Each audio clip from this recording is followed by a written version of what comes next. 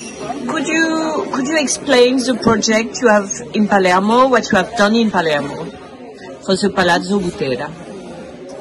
Uh, we we came for the first time at Palazzo Butera.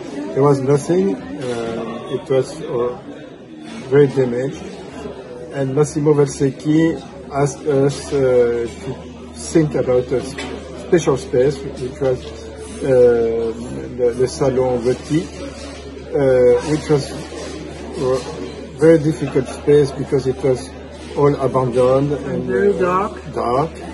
And so we had the idea to bring the light inside, but light very, very slow, very, very low. Donc we, we had this idea to to create something with mirrors, but not normal mirrors, color mirrors in a certain way because we used stained glasses, uh, which normally are uh, for the cathedral and uh, stained glasses. But I'm, what I'm interested is about the symbols, the story, because I will describe the installation and we will have photos. So, So um, this uh, this uh, special um, salon um, was dedica- de- dedicated to the idea of astronomy, astrology, um, Alchemy. alchemy, and uh, because uh, pr- uh, the um,